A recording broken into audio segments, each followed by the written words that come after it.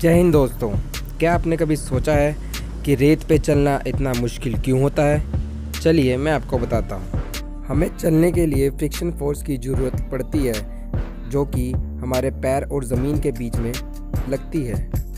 लेकिन जब हम रेत पे चलते हैं तो रेत का लूज़ पैक होने की वजह से हमारे पैर और रेत के बीच में फ्रिक्शन कम क्रिएट होता है, जिसकी वजह से हमें रेत में चलने में मुश्किल होती है। मिलते हैं नेक्स्ट वीडियो में। न्यू फैक्ट्स के साथ। जय हिंद।